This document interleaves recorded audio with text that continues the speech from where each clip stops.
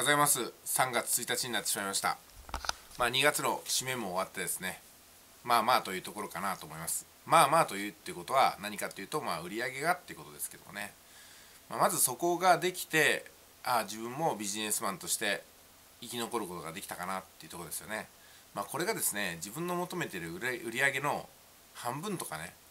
うんまあそんなことになっちゃってると一体何をやってたんだろうと。今までの歩みは何だったんだ何だったんだろうかなって思っちゃうと思うんですよね。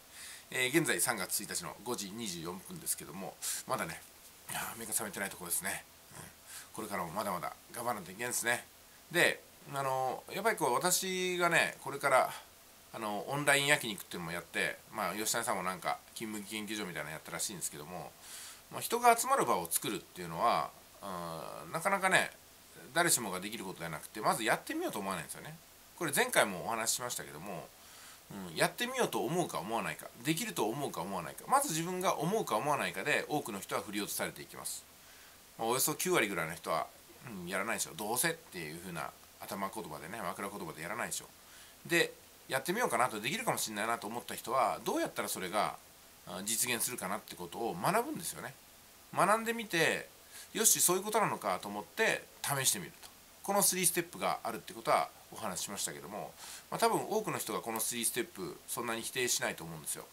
でも残念ながらうんその道に行ってみようと思って学ぶ人っていうのがほとんどいなくって学んだけどやってみるというのがもっと少ないっていうのが現状じゃないかなと思うんですよ。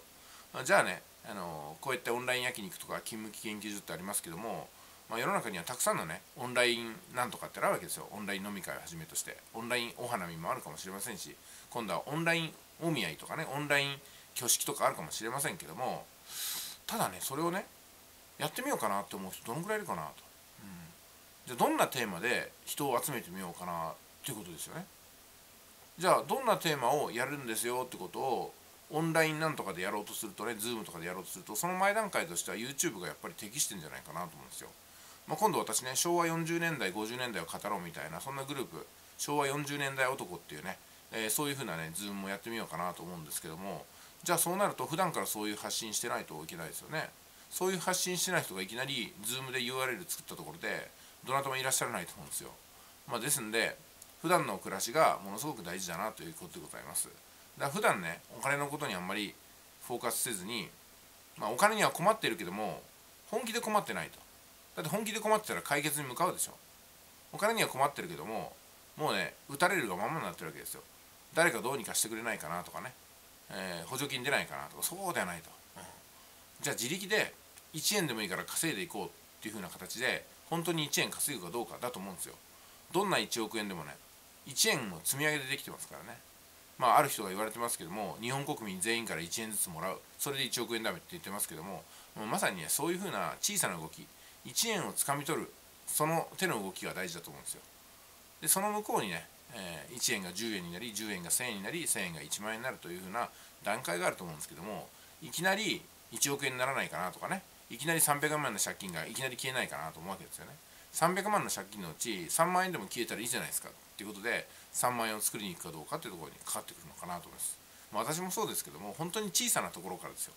金麦研究所とかねオンライン焼肉会みたいな小さなアクションそこから全てが始まってると思います。私のこのね、えー、所得とかこの暮らしっていうのもセルフバッグから始まってますからね。誰でもできるカードを作るというねセルフバッグこれできない人いますかね？少なくともその作業はできるじゃないですか、うん、その後の私の行動っていうのも特別私しかできないってことはないんですよ。誰でもできることを積み重ねていって誰もできないところまで来たっていうことだと思うんですよね、うん、